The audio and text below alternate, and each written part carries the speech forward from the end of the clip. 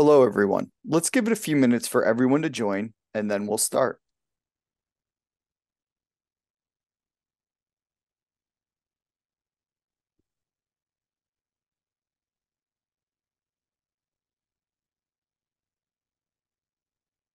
Hello, and thanks for joining. Today's talk is AppSec and AI, understanding the risks using AI specifically and how AppSec tools in general and DAST specifically can help mitigate them. My name is Frank Catucci, and I'm the CTO for Invicti Security and Head of Security Research. I've been here at Invicti for almost a year, and we have done uh, performed great strides in utilizing and analyzing uh, artificial intelligence and AI and how this will work and impact application security as a whole, as well as the implications of AI in AppSec and using DAST. Uh, as part of head of security research for Invicti, this allows me uh, a pretty unique opportunity to interact with basically some extremely talented researchers and developers and engineers here at Invicti as well as try out new technologies and find new attack verticals, new signatures, and those type of things using any type of technology, including things like OpenAI, ChatGPT, uh, Google uh, BERT, uh, uh, GitHub Copilot, etc. So that's what I'm going to give you today is a little bit of a delivery on some real world examples and some real world best practices to be able to deliver effective AppSec and some considerations on things that you may or may not have thought about when adopting newer technologies uh, like OpenAI's ChatGPT or things of that nature for automated code creation and or co- code, uh, you know, sustainability to basically uh, uh be able to, uh, you know, scale your your development teams using uh, the next generation, essentially, of Stack Overflow, if you will. but that being said, we'll go on to the agenda. So today, really what I'm going to do is I'm going to give you some more real world examples of things rather than preaching my philosophies or my beliefs. Um, I'm going to give you some real world examples of some research. Uh, and again, there will be uh, links to our blogs and things that are available for some of the research and things that we've done in the past that address these specific type of vulnerabilities and or considerations using AI generated code. Uh, the agenda will loosely be based on, uh, you know, are we ready as a whole? And that means, you know, as as an industry, industry meaning anyone who consumes, uses, and writes software, are we ready to use that in production? And if we are, you know, what are the implications? Uh, this is. Uh, uh, a, a, deep dive, uh, take a look there. I'll mention our blog where we're looking at that GitHub Copilot case study uh, that one of our great researchers did, uh, as well as looking at AI generated code in more in general. Uh, some of the software supply chain security risks, risks that can be introduced. Um, and then we'll we'll finish it off with really some tools and considerations and practices to help probably mitigate that AI uh, related security risk. Now, before we get started, one thing I want to clear up is I, I'm I'm an AI fan.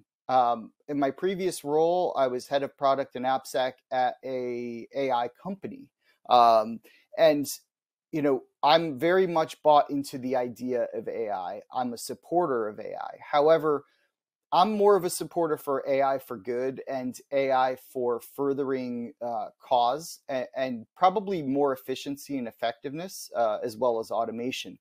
What I what I don't want is that kind of irresponsible adoption of AI or those bandwagon like if you read any you know of the million posts that come out on AI there's always an opinion. So I'm much a supporter of AI but I do think that what we need to do is look more closely at how we use AI um, how we use uh, uh, machine learning and artificial intelligence specifically with an AppSec kind of lens or perspective. Um, so that being said I'm going to jump right in. Uh, before we begin here, just a really quick overview of Invicti Security. So, Invicti Security uh, is a company that is essentially a merger between NetSparker and Acunetix that happened uh, quite a while back. Uh, if you're familiar with either of those solutions, uh, you probably understand what we do. Uh, our headquarters are based in Austin, Texas. We have over 400 employees, 3,600 plus customers. Uh, we're around a million apps that have been secured currently. Uh, and we're uh, our retention rate on our existing customers is somewhere around 111%. Now, you know, it, we offer uh, a variety of different types of things, right? So traditional DAST, yes, uh, but highly scalable, rapid uh, DAST testing that's more of a continuous discovery and scanning methodology is also what we offer, as well as software composition analysis and IAST, uh, which is interactive application security testing as well. So, that being said, just a quick overview of who we are and what we do, and happy to uh, answer more questions further on. But for now, let's get started in what you came here to hear. So, are we ready for AI generated code? Now, that's the question. Um, we we know there's going to be traditional risks, but there's going to be risks that maybe we have not thought about, or risks that actually may impact our compliance. Uh, compliance is an area where you may or may not directly say, "Oh, what does AI using AI code or or suggestive code snippet or or code block have to do with compliance?" We'll get into that in a second. So we, we look at the trend of what's happening. We look at what's coming. We look at what is already here. We know that probably the future of a lot of high scale software development uh, and automation and efficiency is going to come from augmented or, uh, uh, or artificial type of intelligence. That being said, we have multiple services here, right? From Salesforce's uh, Code T5. Uh, I mentioned Google BERT, GitHub Copilot, uh, obviously OpenAI's uh, ChatGPT, as well as OpenAI's playgrounds and paid options and full APIs that are uh, also available to uh, be able to instrument those solutions in uh, pipelines as well. So uh, the you know the the, the risk is here, but that being said, you know th- these are things that are here to stay. I think right. So is this the next? You know, I get asked all the time: Is this the next blockchain? Is this the next? uh you know crypto type of thing where everyone's jumping on this and then it disappears or, or it shifts use cases and it's used for something completely different I'm not quite so sure. I think that the impacts um, going beyond things like Merkle trees for blockchain, where the fundamentals of the math equations eh, eh, eh, are really, you know, very, very solid. I think that a lot of that got lost in some of the things like uh, perhaps NFTs and Bitcoin and things of that nature. But with AI, and the, its usage for this type of development i think it's more of a staple and it with the efficiency in production and impact on revenue uh, for companies that develop and cre- create produce software uh, i think this is more of a lasting trend that's here to stay. Uh, but that being said we do have some very real risk in using these type of uh, uh, solutions um, and that's again what i'd like to talk about. So we we did have a blog published right? Uh, that blog in particular um, looked at some usage and suggestion from from GitHub Copilot. Now, what is GitHub Copilot? First of all, GitHub's Copilot, or you know, you, some people could say, oh, it's more of an autocomplete for code. Uh, sure. Um, it, it's based on a model, a codex essentially, or a model that is OpenAI in the background, or G, uh, GPT-3. So when we look at that, yes, it's it's is it Chat GPT? Is it OpenAI's Playground? Somewhat. It's based on that, and it uses that codex. Um, it can generate code in, in multiple languages. It can generate uh, development codes within IDEs. Uh, obviously, the language support is there. Um, and more importantly, it's trained on billions of lines of code that exist. Now, one thing that we know is that when we're using Copilot specifically, we know that it can pull code and pieces of code from publicly accessible repositories uh, throughout GitHub.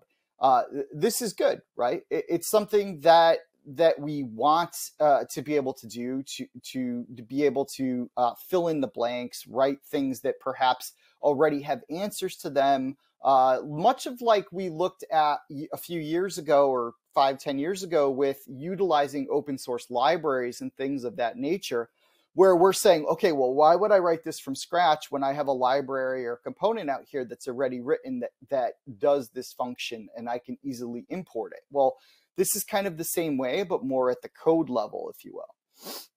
So one thing that uh, one thing that we noted here was that we know that the code that's suggested, and again, this is a direct reference from our real research that we did, the code that was suggested often contained some uh, basic vulnerabilities. And what I mean by basic vulnerabilities is we have an entire suite of software out there that has reduced inherently over the years the ability to do things like introduce SQL injection or cross site scripting with safety measures that are built into a lot of the frameworks.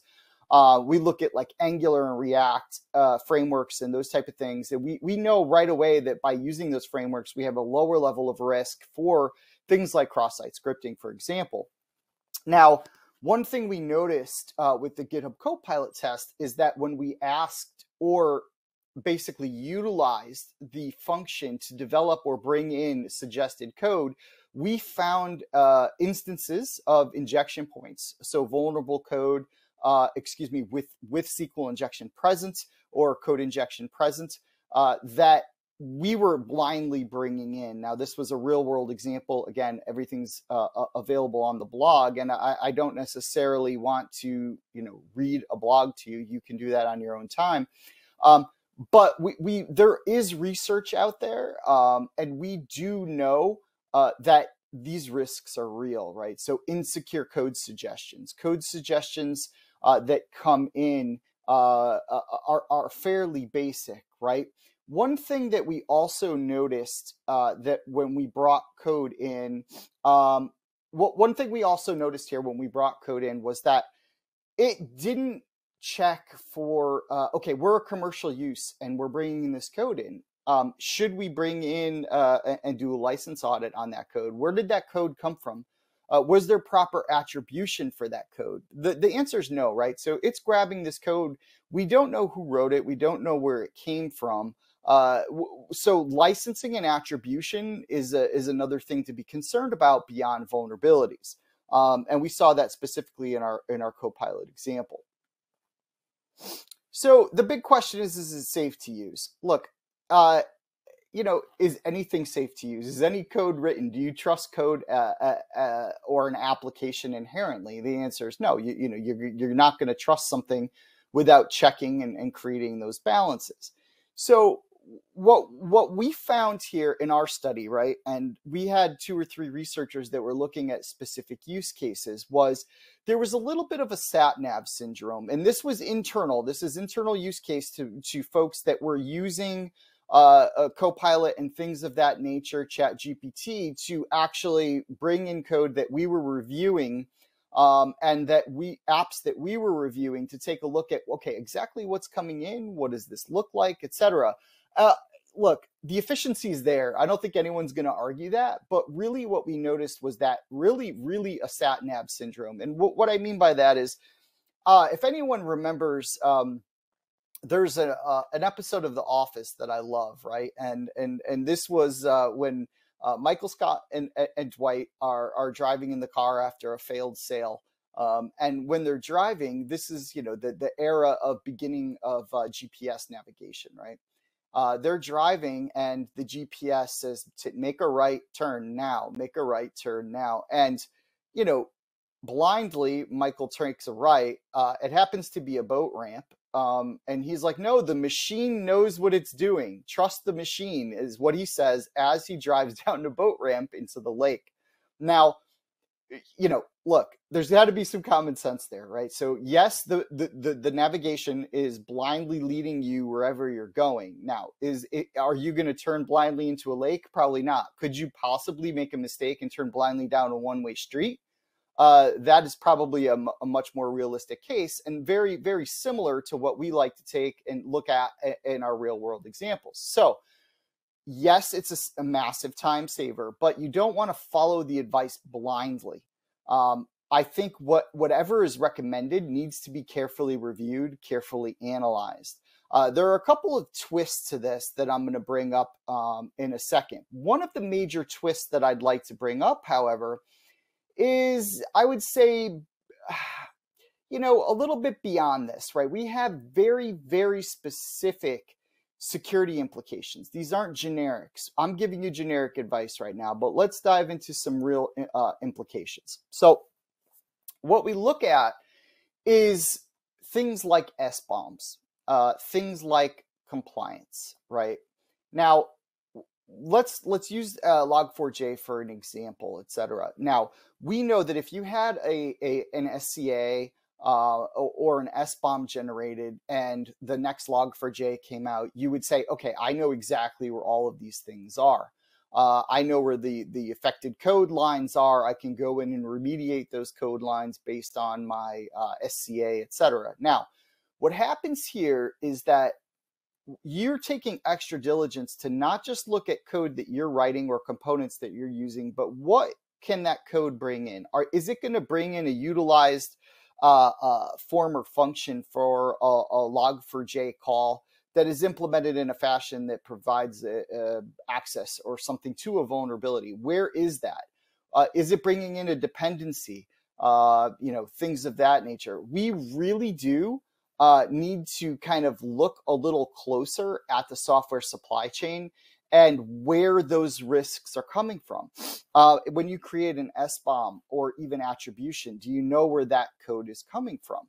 Uh, it's not only going to help you if if something bad happens, meaning that if the next vulnerability is released tomorrow uh, and it's utilizing a specific component or version, now you're going to have to make sure that everything that you've augmented or written with that AI is also logged and inventoried and cataloged appropriately so that you know where that component or that log could be, uh, if you will. So that that that throws a little bit of a curveball in there, right?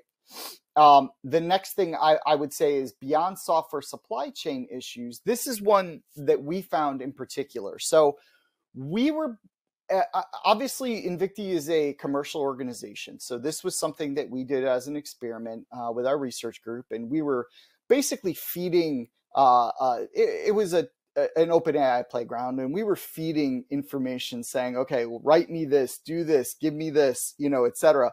And we're bringing that code actually into our app. Now, obviously, none of this got released in our production environments because this was more of an experiment.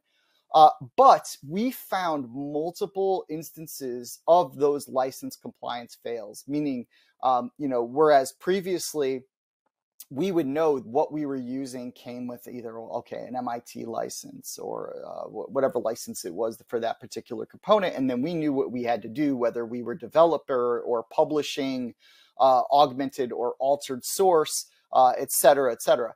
What we found in this case was that we were actually having to we, we it, everything scanned clean right uh, on that piece because the traditional SCA will look at it and say, these are your components. But what we were doing is we were taking pieces of uh, code that had a specific license and using it uh, and not necessarily adhering or conforming to the licensing that that code was coming from. Now, this is a major kind of consideration uh, if you're being held to that SBOM or being held to that license usage for a commercial product, this is something that you definitely need to take seriously. Uh, and this is something that is not being considered with the most part for that autocomplete, if you will, or, and or either software building augmentation. So that is one thing that we saw in, in, in, in real life, if you will, with some of our research. Um, if we had an audit and we implemented that, we would have failed. What would that have cost us in dollars? I, am not quite sure. Uh, but the the fact is that there probably is going to be quite an adoption of that blind, essentially code coming into to the use cases uh, where there is license and or compliance kind of failures. Um, you know that's something that we don't want to do, right? So uh, there we have licenses out there that are that, that that we're pulling code from that explicitly prohibit any commercial use whatsoever. Uh, I could imagine that that would be pretty uh, a hefty fine if that were to be found.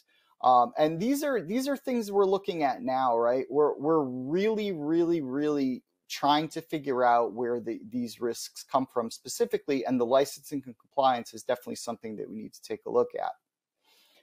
Um, so going back to, to security specifically, um, we know that the data that's given from AI or ML or whatever it is is only good or as accurate as the training set that the data came from. Uh, could the could the data set that that training that those training sets came from be tainted? Uh, that answer is yes. Um, we know that right now there are already kind of more advanced attacks to pollute uh, data for ML or AI attacks. Now, it's very few and far between, probably because the use cases and the attack vectors aren't there. These in the early days, we used to say, well, why are there so many viruses and, and malware being written for Windows and, and not Linux? Uh, well, uh, I think you know it wasn't that Windows was inherently that more uh, uh susceptible but it was the fact that you know 90 some odd percent of your commercial organizations were running windows desktops and that's where the money was right? So that's where the focus was. And i think that as the adoption creeps up the the focus or the bullseye the target if you will will be created on perhaps poisoning the well or poisoning the code that comes from these these trained data sets. Um, you know we know um, already uh, that people are using this for hey let me evade a spam filter. Write me an exploit et cetera et cetera. Write me malware that gets around this. Um, so we know that it's being used for nefarious purposes. Humans can already do that. We know that but this is making things easier. So i think as those two things converge um, and that is really the, the more mass adoption of ai as well as the mass adoption of using ai for good and bad uh, we're really setting us up here for a, a much more interesting security kind of landscape uh, utilizing AI. Now, do we use some form of AI to make our security products better? Yes, of course, right? We want to use machine learning. We want to use the data that we have. We have millions and millions of data points that come in from scanning millions of applications that have vulnerabilities. We want to learn from that. We want to get better. We want to get faster. Um, so we use AI for good to improve our product, but we also need to understand that there is that negative connotation where we're probably going to see a shift um, that, you know, the shift meaning that that code and those attacks are, are going to be utilized and, and be put into the mainstream uh, much quicker and probably with more efficiency than in the past. And again, the attack surface growing would be the primary factor there. So, oh, did I? Okay. So, one thing we can look at here um, is, and, and this is a specific use case. And the reason I say it's a specific use case is because what happened here in this specific note is something that we we were doing a project in house. Um, I, I, don't want to spill too many beans here, but it, it, okay, I we were asking for uh, a library in Python to do something very specific with JSON data, um, and we we're just like, okay, you know, is this out there? Does this exist? Can I find a library that does this without having to write it from scratch? So let's ask. Uh, what we found was we got two or three answers uh, from one of these AI solutions um, that sounded fantastic, right? They were very, the name of the library was very, very close to almost like what you would expect the real library to be if it existed for uh, that particular purpose, uh, um, for that particular function. Uh, the problem with this was those libraries didn't really exist anywhere they they existed nowhere. So i mean we searched github we searched the internet we googled we binged we did i mean you name it we searched and these libraries didn't actually exist although they were recommendations from the ai source chat gpt in this instance for a, a particular solution. That led one of my coworkers to say hey i have an idea.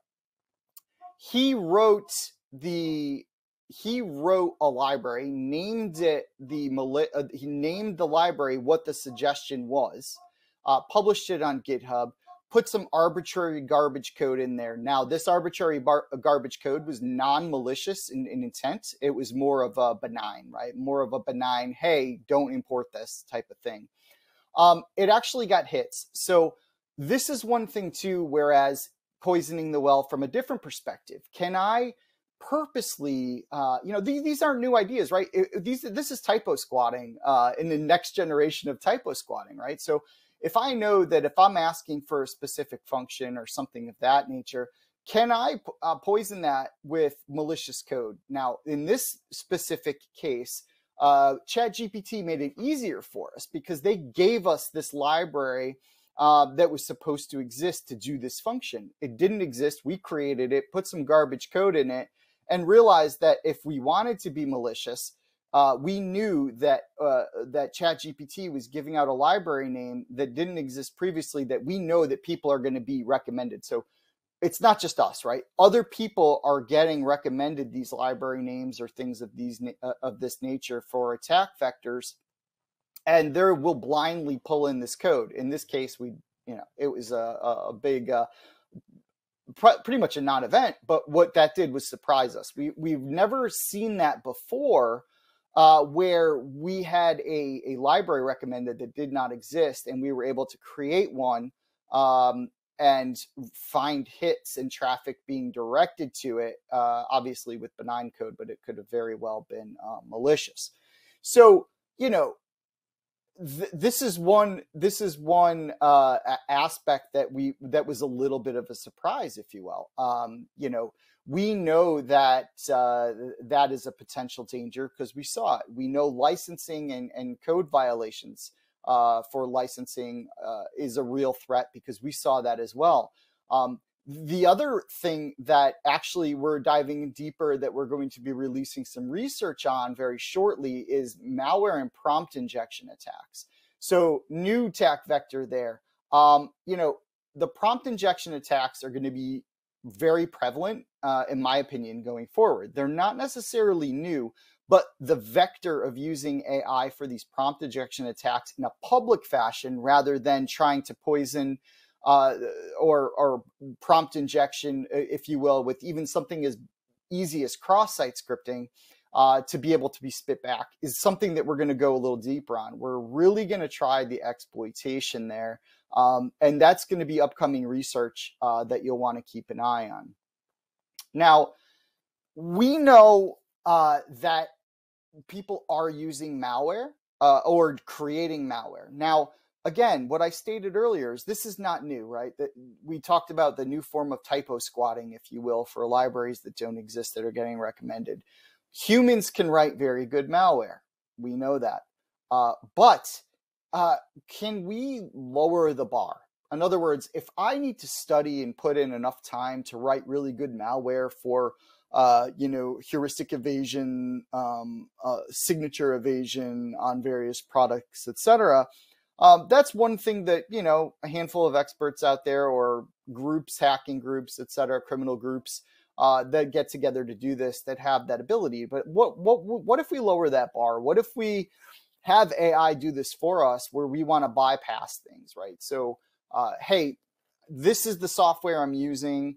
Um, write me a piece of malware that does X, and I can put uh, uh, example code in there. So I can put example code and say, hey, this is what I have so far. It's getting caught with this filter. Give me something to evade, right? So this is like years ago we were doing pen testing we were doing WAF evasion where we were doing double and triple encoded payloads to get by a web application firewall right that's great but we were advanced appsec pen testers doing this evasion making sure it's still fired you know et cetera et cetera a lot of this stuff was done manually uh, what if I had a tool to say, hey, you know, triple encode this payload, make sure it gets through this specific type of firewall. Let's test it. Let's put this through our labs, et cetera, et cetera.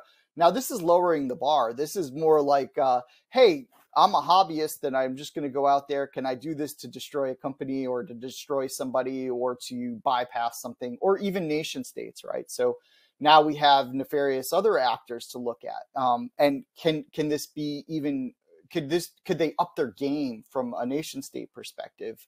Um, so not only we're lowering the bar, but we're also creating that high bar that already existed uh, for those experts to perhaps go one step further. Like, what can AI be able to tell them that they can go one step further to, to, to perhaps find a, a, a, vector or a way to uh, code something for evasion? Uh, these are these are things that are, are taking uh, you know very little effort from adversaries, um, and these are things that are that are very real. And I think again we're going to see this uh, come out there to defeat a lot of the endpoint security. Um, again, uh, you know, the traditional days of uh, antivirus are gone. We know that we're going with things like EPP and, and, and you know the various CrowdStrike type of components, et cetera. Well, what if we could get around those more advanced techniques utilizing AI and things of that nature? So um, there's been studies out there. CyberArk researchers actually found live uh, malware code out in the wilds that was created by ChatGPT already. Uh, so that is that is something uh, I believe I heard that there's going to be a publication as well from another vendor, and I I don't can't name that vendor yet because I'm not sure uh, when or if it'll publish, but there may be a very prominent type of um, malware blog that that's that's published that will be coming soon uh, that will be very similar to what the research found uh, researchers found at CyberArk. Uh, so another thing to keep in mind here. Um, now, what can we do? I, I think the biggest, the most important thing here to do is say, you know, look, we need to concentrate on the fundamentals, uh, and the fundamentals cannot be ignored. Now, there are things we need to do to tweak those fundamentals to really help us with application security when utilizing AI, uh, you know, or addressing AI uh, related security risks. But those basics basically don't trust uh, essentially. But making sure those basics are in place. And what basics you might ask? Well there's a lot to this, and we could do a, completely separate webinar basically on defenses and things of that nature, DevOps, DevSecOps, if you will, um, from more traditional methods, shift left, shift right. Um, we could talk however you would like. But really, what I'd like to do here is take a focus on this slide. This is a slide that um, uh, myself and a couple others created uh, when I was at Gartner. This slide here really embodies a, a lot of the protections that can be built in the CI/CD pipeline. So, first and foremost, what I like to do is, uh, you know, we know that the folks that are using um, uh, ChatGPT, OpenAI, etc., for creating code, just as they were Stack Overflow, are developers. So what I like to do is always take a very uh, developer first or developer centric approach. Now, that being said, um, we know that we can do things like secure training, uh, security awareness, et cetera, et cetera. But be as friendly and non frictional to those developers as you can, and you'll get that feedback, meaning that whether you're implementing something directly into their IDE or their native environments, what we want to do is concentrate and say, hey, okay, maybe we have a plugin into the IDE. Maybe we're allowing developers to do this as they go. Maybe if someone copies something from ChatGPT into their uh, IDE, uh, it'll get flagged for being insecure, or having an injection point, or uh, the ability for cross-site scripting, or you know whatever it is. Um, so very, very uh, kind of a, a, left focus, if you will. This is nothing new. I hope this is nothing new to anybody. Um, but what I want to do here is concentrate on a couple of areas. Um, one in particular um, before I get to DAST is is SCA. Uh, SCA is going to go through, and a proper SCA is going to give you everything that you're utilizing within that, and those are your components, like I mentioned earlier. Now, what we're doing there is we're already doing most SCAs are going to offer you those license and compliance checks as well as a, a an SBOM and a, and a really good understanding of what components, libraries, or dependencies are in your software. Um, I, I, think beyond that, uh, what we want to do there too is make sure we're not missing anything that we're importing. Um, so there we're going to use a combination of SCA and SAST. Now SCA is going to give you those components. It should pick up on those components. It should pick up on any libraries you're using. It may or may not be able to accurately pick up on the exact code that you brought in if it's part of a package where you're adhering to that license. So this is one of those new twists, right? So if I if, I know that I'm importing an entire library, SCA is going to pick it up and say, "Hey, this looks like this. This is stamped this version. This is vulnerabilities associated. These are the licenses. It's all there. It's great. It's easy to read." Uh, but what if I take a part of that and just throw it into something I'm developing and I'm writing my own library, right? So we might have a violation there. We're going to have to be very careful, uh, meaning that we're going to have to do a little bit of checking we're going to have to do SAST. Uh, we're going to have to do SCA. We're going to have to do some manual code review. Um, there, there are some really good shortcuts out there for, for, and again, shortcut I use as an efficiency for some manual code review on those pieces. And can we even use AI to find these things? Probably. Uh, but these are all new pieces that we're going to have to look at. Now, from there, we move on to something a little bit more interesting uh, again, and that is I look at DAST or uh, and in a combination with IAST as more of like real world testing, meaning that like I can look at source code, and that's extremely important. You have to look at SCA for your components. You have to look at SAST for your source code. It, you, it's a must. But what is this? What is this app look like when it's being deployed into non-prod, into prod? etc. What does this application really look like in the real world um, from an attacker perspective, right? Uh, if I'm an attacker and this application is, is, sitting there and it's talking to 40 different APIs, three different databases, it has you know six different ways to authenticate. Um, uh, you know that's great that I can do all of that testing beforehand. But what DAST allows me to do is take that application and what it really looks like in a real world segment or a real world scenario and run actual attacks against it like an attacker would, right? I can do that with auth, without auth, etc. I can try the multiple types of authentication. Um, we recently launched a uh, attack signature to automate SAML and SSO attacks. Um, now, this doesn't just attack your methodologies, it also talks to the backend app uh, that may be the middleware in that uh, authentication stream for SAML or SSO in an automated fashion. So we're tying this all together and trying to basically give those real world tasks or those real world attacks in context to the application. Now, Will this help you on your licensing? A little bit, yes, because we have some SCA mixed in there. Will this help on your uh, SAST? Um, a little bit because they find tr- some of the same vulnerabilities with a lot less noise and pollution for uh, and tuning that occurs with your traditional SAST. But it, will it will it provide an environment that tests configuration, hosting, services, integrations, middleware, databases, et cetera, et cetera, et cetera. That's where really the value of DAST and that we're delivering comes in. And that's really where DAST as a whole kind of accelerates. Now, we also look at something called IAST, right? IAST is interactive AppSec testing. What, what that does is it doesn't just look at uh, perhaps a request with a parameter or a fuzz with a parameter and a value and a payload and then the response. It looks both ways. In other words, it looks how it, because it functions in the runtime, it is looking at the actual response and how it's handled from that application. So is there something stripping out that exploit after it reaches? Now, just because it reaches doesn't mean it's successful. Is there a mitigation put in place? Is there something put in place that basically denies that connection or that that connection back or that response back that may or may not be malicious.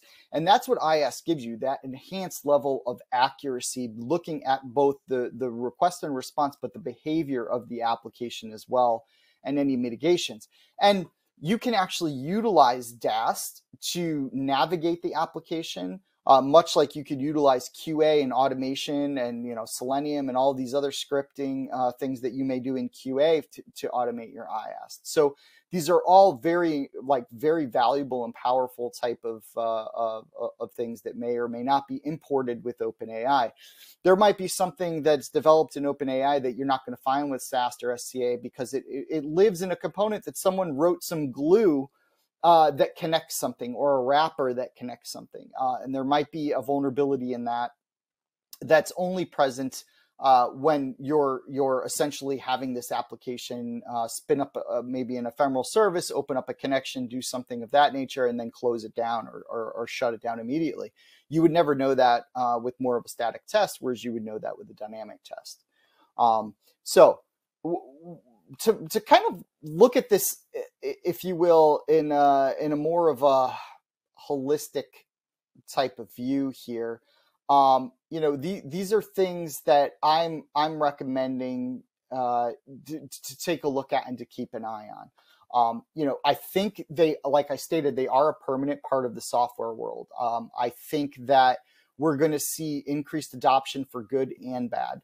Um, I think we'll personally continue to use AI to make our products better. Uh, I think other people out there will be using AI to make their products better, and I, and I do believe in it. Um, but don't trust it, right? Treat everything as untrusted until you test it, until you know uh, what it is. And don't release it into production until it goes into a test environment and you can really test out things with numerous tools, SCA, SAST, DAST, IAST, etc. Uh, these are things that we want to build in. I mentioned, I showed you the pipeline. Sure, we can have build fails, uh, you know, different type of sensitivity for different kind of apps. Uh, all of that can be in a completely different subject, but we really, really need to take that diligence when we're looking at these things, right? Um, and, and, that's that's that that's critical. Um, I mentioned some of the uh, advantages here. Uh, the advantages that, that, that are you know that go beyond a bit what I said too is scalability. Um, so I'm not just talking to the slide, I'm going to talk in general here, right? So what, what we look at is scalability. Um, we can run continuous discovery um, and scans in an environment, right? Something as simple as this is my IP range. Th these are the domains I own. Uh, let's do continuous and nonstop discovery to find new hosts that are running web applications. Uh, why is you know my phone that or my my phone, excuse me, my coffee maker that someone plugs into a network port uh, a network port in your office all of a sudden is on a VLAN that shouldn't be on that VLAN. Now you have you know this other web interface and is it an entrance attack vector, et cetera. So there's constantly that. Developers are constantly doing things, they're developing own environments, uh, developing things on their local machines, et cetera. Uh, there's always uh, containers being spun up. There's always environments and things changing on a rapid, very rapid basis. So what we allowed to do, and some of the the what we do is a little bit at a attack surface discovery, right? So a constant discovery, and then and then oh, I found this new thing that has a web interface. Okay, go scan it. Uh, scanning at scale. We have clients that are scanning, you know, thousands and thousands of applications on a regular basis, uh, simultaneously, constantly uh, very large e-commerce out there where it's like, look, stuff's changing in my store by the minute. I release a hundred times a day. Um, I don't want to have to stop and start and stop and start. Just run this thing continuously. Yes, the app changes, find new links, fuzz new parameters, do new functionality, new APIs, grab a new uh, API that's out there, uh, test the API, right? We support uh, REST and GraphQL.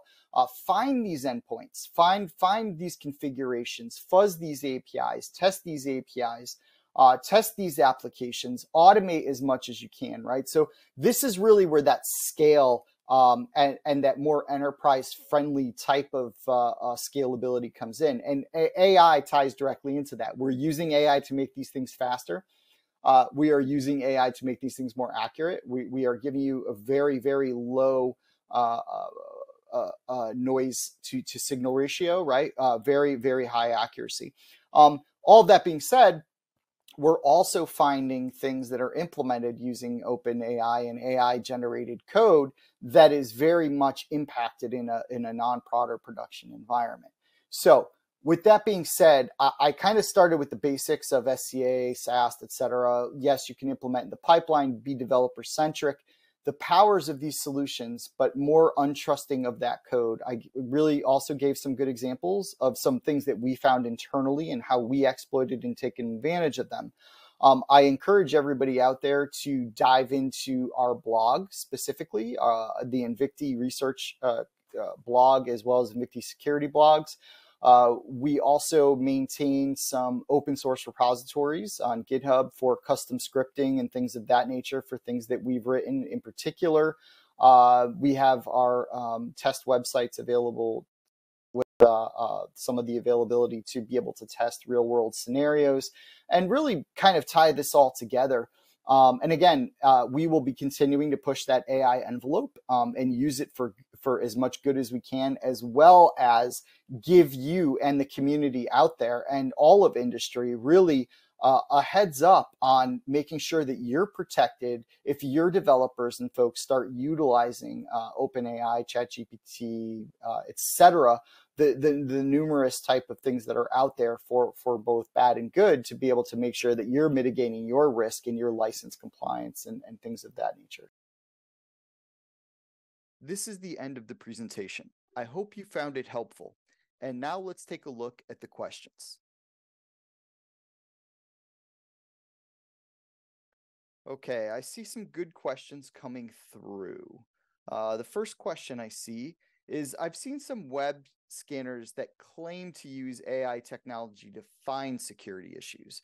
Do you think that's where security testing is headed going forward? That's an excellent question. So, like I mentioned, we use AI to make our tests better, meaning we have data sets that we look at and we want to be more accurate. We want to make sure we're not giving you false positives. We want to make sure our signatures are accurate, our speed, uh, everything that we're doing. And we use AI and ML to do that. Now, if we're using AI to actually find security issues, um, I would say that that is definitely not out of the realm of possibility. Uh, we did one experiment where we were trying to have AI do our secure code review for us on a fairly uh, innocuous piece of code, nothing very proprietary or anything like that. Uh, because we do know that as using something that's free, you become part of the uh, data set or the training model. Uh, and there's a lot of proprietary information that could even leak from that. But that being said, um, I do think that we'll see AI to to continue to build um, both help security um, help security issues as well as the the, the folks help um, try to create security issues or vulnerabilities going forward or attack vectors. So um, I do think AI is here to stay for a while. Um, and I do think that almost every security vendor out there that I know of uh, doing, you know, more kind of modern uh, tooling and development is utilizing some form of AI or ML to, to boost their products. Uh, so I would say, you know, I, I, wouldn't jump on anybody who says, oh, well, all of our uh, security products are, you know, utilizing AI and that's why we're the best. I, I wouldn't necessarily jump on that and say, oh, they're got to be great. Uh, but I would say that everybody is definitely taking a look at it, um, and everybody should probably be using it in some fashion to create efficacy, uh, more efficacy, and more efficiency as well with their existing tool sets. Question two. Uh, you mostly mentioned Copilot, but recently everyone is talking about ChatGPT. Uh, have you seen or tested the security aspect of code from ChatGPT, especially when compared to Copilot? Yeah, I think this question um, kind of th- this question is interesting. So I, I, there was a couple of instances where I addressed this specifically, but um, you know, Copilot is is using the codex, uh, the GPT-3 codex. So it's using a lot of the similar uh, similar function, even though the, obviously the training sets are, are probably different uh, based on uh, GitHub uh, slash Microsoft and then you know OpenAI and uh, you know, every time someone does a query, right, there's data being gathered, and uh, people are using this for for different type of purposes. So, you know, it's both, right? We we found that Copilot actually in, introduced an injection uh, in in our code test, uh, and we actually uh, found that ChatGPT recommended a library that didn't exist, and we jumped on it and created it, and actually uh, had some hits. So. I think ChatGPT, because of its accessibility, um, we know that there's you know a, a, huge free tier out there you don't even need to really sign up you can go out there and use chat gpt and it's getting a lot of the media uh, attention a lot of the blogs etc but before that you know github copilot was out there um, and they were doing their thing. Uh, yes it was a more closed environment. Uh, you know the the the the 11 o'clock news anchor wasn't necessarily jumping on the co-pilot bandwagon whereas they probably talk about gpt a few times or or, or ai right for various uh, types of considerations. So uh, i would say that we we've looked at both. Um, they both have different risk factors in my in my opinion i think they're a little bit different uh, I think the, the the training set from uh, Copilot is a little more closed, uh, whereas the the Chat GPT is a little more open. But they both have to be treated essentially as untrusted until uh, you can verify what you're running is secure. Question three: Would you say AI is finally here to stay, or is there another hype cycle that go will go away? Uh, we've seen similar excitement uh, in the past more than once that we're seeing right now with AI. So I, I think it's going to ebb and flow. I think it's here to stay, but uh, let's not forget Hal, right? Um, let's not forget forget Hal and, and, and artificial intelligence from back in the day, where this was always kind of an interest, right? So yes, it spikes and peaks, and yes, it drops. Uh, but you know, back in the days of, of things like war games, uh, et cetera, there's you know there there was uh, there was that aspect or that interest in robots and and you know Rosie from the Jetsons and and having that feedback, right? So even though we're even though this is new with much much much greater kind of capability um, I think it's here to stay in computing, especially uh, for, for and even consumerism, probably for forever, right? So it's always kind of been there, but it, it, will rise and fall with popularity, just like most things do when something new and hot comes out. Uh, but I do think this does have potential, and I think we're at the point now where there is the the the ability to create an inflection point in the usage uh, and not and consumerism as well as corporate uh, to create an inflection point that keeps it on the radar a little longer than you know perhaps do you want to play a game or, or cleaning and mopping and and my my uh, my Roomba that's sitting over here or something of that nature. But uh, I do think it's here to stay. But I, I you know, it'll go in cycles. But uh, this this is something where our capabilities and the maturity of what's out there now does have a bit of inflection that I think will probably remain fairly high for uh, the next uh, recent future for sure. Question four I see coming through. How is getting AI generated code really any different than when people blindly and copy paste and paste from Stack Overflow or similar sites? This is this is whoever asked this question um, this is probably th- this is something that I actually wanted to dive into a little deeper, and I m- might have skipped part of it, but this is a great question. So traditionally with Stack Overflow, um, you would you know do a Google search or you're searching on Stack Overflow itself. You're very specific in what you're looking for yes, are you copying and pasting code snippets or, or, things of that nature blindly into your code? Yeah. Is it good? No, it's terrible um, you're doing very much the same thing. However, it requires, in my opinion, requires a more manual process and it requires more uh, experience in asking the right question to get that answer in Stack Overflow with the parameters you're looking for or editing that code that's in Stack Overflow um, a little bit to make it work for your use case. So there's a little bit more scrutiny and time that takes um, into getting that code into production. Now, uh, should you still not trust that code? Absolutely. Should you still scan that code? Yes. Should you use still uh, SCA, SAST, DAST? Yes, you still should.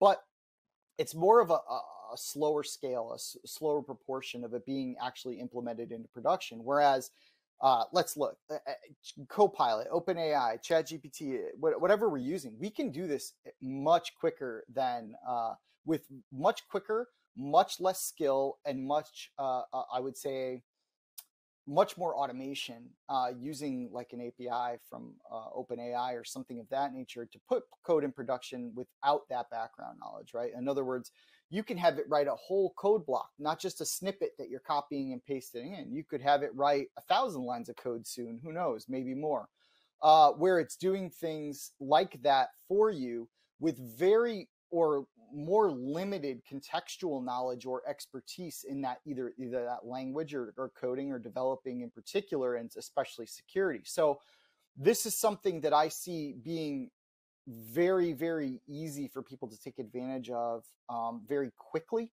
And so there i think the risk is a little higher because it does require less knowledge and it can be done much much quicker and at scale much greater than you could with something like stack overflow. Um, and we could even see this embedded into specific pipelines um, or being utilized in a method where you're letting code auto generate based on this stuff um, where there's less eyes on it. And that's where that trust level changes a little bit. Um, so yes, it's similar, but in my opinion, it's something that needs to have a little bit more focus because of the speed and accuracy and the uh, lack of knowledge that you need to really get to that point and, and probably could impact adoption. Thank you everyone for joining and for your time and participation today. I hope you found this content useful and I thank you again for spending your time here.